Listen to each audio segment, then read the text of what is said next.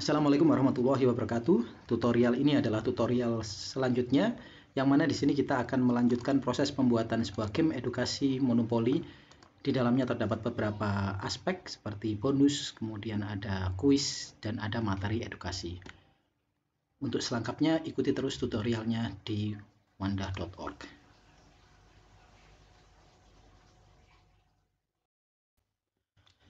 Fitur terakhir yang akan kita tambahkan adalah fitur kuis, yaitu menambahkan sebuah kuis interaktif ke dalam monopoli edukasi. Nah, di sini kita akan double klik terlebih dahulu.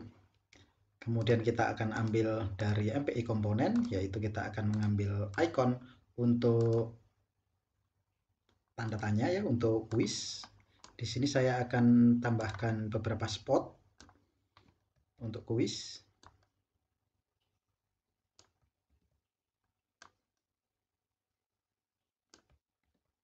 Ya karena ini game edukasi maka secara otomatis kuisnya harus banyak ya. Oke setelah spot sudah uh, jadi seperti ini maka tahapan berikutnya adalah membuat pop up dari kuis itu sendiri.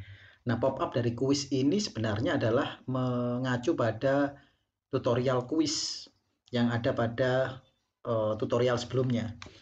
Di sini saya persingkat biar lebih mudah di sini Anda tinggal cari kuis di MPI ya. Ini masih dalam library-nya MPI komponen. Di situ ada yang namanya kuis board game MC. Nah, kuis board game MC inilah yang akan kita gunakan. Ini Anda letakkan, Anda drag ke layar. Kemudian Anda pastikan posisinya ada di tengah seperti ini. Kemudian Anda double klik untuk mengeditnya. Nah, tahapan pertama adalah pastikan masing-masing dari dynamic text ini sudah terembed hurufnya. Jadi ini sudah di embed all maka secara otomatis aman. Nah, kemudian di dalamnya ada yang namanya UI atau tampilan. Apabila Anda kurang serak dengan tampilan ini, Anda bisa edit lagi. Sebagai contoh di sini saya akan mengedit ujungnya. Jadi di sini ujungnya akan saya naikkan sedikit biar mengcover dengan baik ya tutupnya. Nah, seperti itu. Nah, sementara untuk jawaban dan sebagainya saya biarkan. Nah, khusus untuk gambar MC, gambar MC ini adalah apabila pertanyaan-pertanyaan tersebut akan dilengkapi dengan gambar. Jadi di dalamnya kalau Anda double klik ada frame by frame. Dalam contoh ini adalah frame by frame bendera. Jadi ada beberapa bendera karena pertanyaannya terkait bendera negara nantinya. Yang paling mudah seperti itu untuk tutorial ya. Kemudian di situ ada status kuis. Status kuis ini apabila Anda double klik itu adalah status benar, jawaban benar, jawaban salah, waktu habis dan sebagainya. Nah, karena ini kuisnya sifatnya adalah kuis uh, di dalam permainan papan atau monopoli, maka yang jawaban salah dan jawaban maaf yang waktu habis dan soal habis ini tidak berlaku di sini. Nanti tidak akan muncul. Tapi Anda tidak boleh mengubahnya karena ini nanti uh, biarkan default saja seperti ini. Nah, selanjutnya apabila Anda ingin mengubah tampilan, mengubah tag, saya persilahkan. Terkait untuk jawaban, di dalam jawaban itu juga ada dynamic text. Apabila Anda ingin mengubah jawabannya juga, uh, teks jawabannya juga silahkan. Yang terpenting adalah jangan mengubah instance name yang ada. Nah, apabila semua perlengkapan kuis ini sudah selesai, kembali ke scene 1 dan kuis MC ini bisa kita hapus dari layar. Nah, setelah kita hapus, saatnya untuk menambahkan kode. untuk latihan yang pertama, kita cukup menambahkan kode pada peta yang pertama, yaitu peta ketujuh. 1, 2, 3, 4, 5, 6, 7. Nah, peta yang ketujuh inilah yang akan kita tambahkan kuisnya. Untuk menambahkan kodenya, kita klik kembali frame 10 layer kode, lalu kita buka panel action, dan kita tambahkan opsi. Kode untuk menampilkan kuis adalah monopoli, kemudian opsi, dan kita menggunakan peta ke-7 di mana di sana akan muncul yaitu kuis. Kemudian nilai ketika benar, saya isi 50. Nilai ketika salah, minus 10. Kemudian uh, kuis MC-nya tadi, di mana di sini kalau Anda perhatikan, di dalam uh, board game ini, linkage dari kuis MC tadi adalah kuis board game MC. Ya, kuis, kuis board game MC. Maka kode yang ada diletakkan di sini adalah kuis board game MC dan yang terakhir di sini adalah soalnya. Di sini saya tulis soal kuis. Nah, untuk soal kuis ini adalah uh, cukup membutuhkan perhatian. Jadi kalau Anda perhatikan di tutorial sebelumnya, maka uh, soal kuis ini ada struktur khususnya. Ini Anda letakkan di bagian paling awal ya. Jadi saya letakkan di sini. Nah, soal kuis ini pada dasarnya adalah array. Anda bisa melihat tutorial sebelumnya. Array ini berisi jawaban. Ya, ini pertanyaan terlebih dahulu. Kemudian di sini adalah jawaban benar kemudian tiga ini adalah jawaban pengecoh, dan kemudian di terakhir, angka terakhir adalah frame gambarnya. Jadi kalau gambar bendera Amerika, maka jawabannya Amerika, gambarnya akan diarahkan ke frame 1. Sementara apabila tidak ada gambarnya, seperti contoh di sini, tidak ada angkanya di terakhir, itu berarti dia tidak akan memunculkan gambar. Di manakah ibu kota Jepang? Tokyo, Nagasaki, Kyoto, Hiroshima, tapi tidak menampilkan gambar, maka gambarnya nanti akan hilang secara otomatis. Nah, seperti itu. Kuis ini bisa Anda copy paste nanti dari uh, eh, MPI komponen, kemudian Anda ubah uh, sedemikian rupa sesuai kebutuhan. Nah, apabila kelengkapan itu sudah selesai, maka kita bisa mulai melakukan uji coba. Pada uji coba kita klik, kemudian kita akan klik mulai dan karakter pertama akan mendapatkan 6 langkah 1 2 3 4 5 6 untuk mendapatkan kuis. Jadi di sini akan saya set supaya mendapatkan angka dadu 6 dan ketika angka dadu 6 muncul maka kuis akan muncul nah di situ ada di manakah ibu kota Saudi Arabia? Tidak ada gambar di sini karena database-nya tidak ada gambar khusus untuk ini. Maka di sini apabila kita jawab dengan benar maka akan muncul jawaban benar.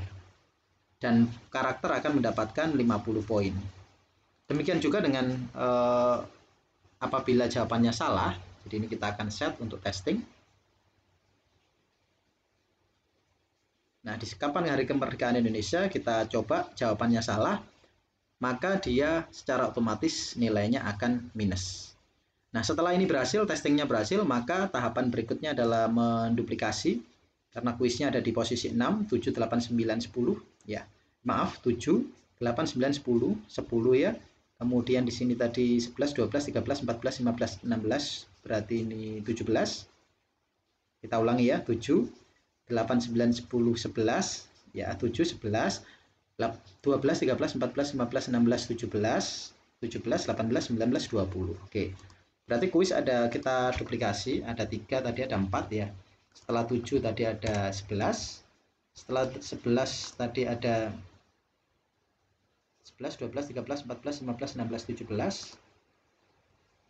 Dan setelah 17 ada 20. Nah, maka sampai di sini aplikasi kita memiliki kompleksitas yang sudah cukup baik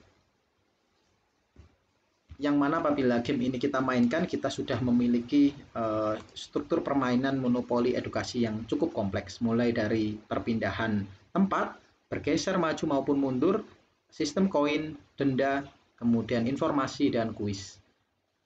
Nah maka tahapan terakhir dalam pengembangan aplikasi ini adalah menampilkan high score atau menampilkan pemenangnya yang akan kita buat saat lagi.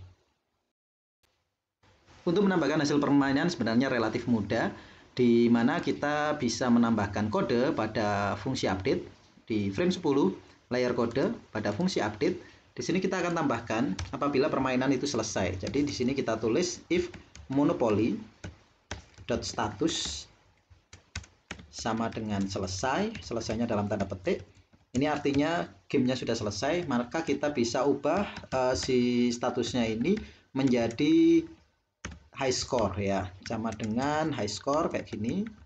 Nah, kemudian untuk menampilkan si hasilnya, kita bisa menggunakan pop up. Jadi kita tulis mpi.popup. Kemudian kita tambahkan di sini pop up MC. Kemudian kita tulis uh, misalkan hasil permainan seperti itu ya. Nah, untuk list hasil permainan itu di sini kita menggunakan uh, kode yaitu monopoli titik pemenang.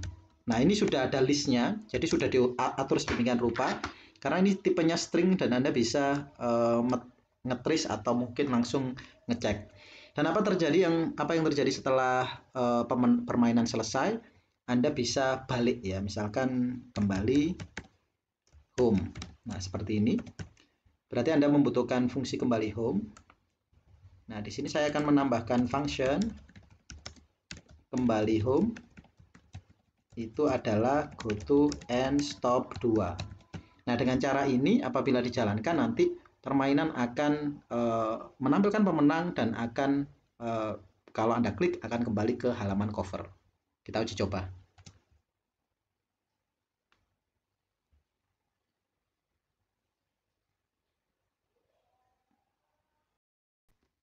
Pada pengujian ini uh, sudah melalui dua putaran, sehingga apabila pemain nanti uh, mencapai garis finish, maka permainan akan selesai seperti ini, muncul pesan permainan selesai, dan apabila pemenang kita pencet maka akan muncul hasil permainan di mana posisi permainan dimunculkan di sana secara berurutan posisi 1, 2 dan 3. Nah, dari sini eh, permainan monopoli edukasi ini sudah sangat lengkap kita membuatnya. Ini kembali lagi ke halaman uh, awal dan kita bisa memulai permainan lagi. Nah, uh, untuk finishing kita bisa menambahkan beberapa hal seperti bagaimana membuat opsi jumlah pemain, kemudian memasukkan nama pemain, kemudian uh, sistem high score dan sebagainya. Sebagai tahapan finishing, Anda bisa menambahkan berbagai macam uh, opsi dan jangan lupa untuk mematikan opsi debug dadu agar uh, pemain tidak bisa mencurangi permainan. Nah, terus kemudian Anda bisa mempublikasikan ini menjadi aplikasi berbasis PC maupun Android. Apabila Anda ingin mempublikasikannya dalam format Android, Anda bisa melihat pada tutorial sebelumnya. Demikian uh, tutorial pembuatan kuis edukasi menggunakan Adobe Animate. Semoga bermanfaat. Apabila ada pertanyaan, ada uh, masalah, Anda boleh drop di kolom komen. Dan untuk uh, kode lengkap, Anda bisa download di situs saya wanda.org. Terima kasih atas perhatiannya dan sampai ketemu lagi di tutorial-tutorial sebelumnya. Assalamualaikum warahmatullahi wabarakatuh.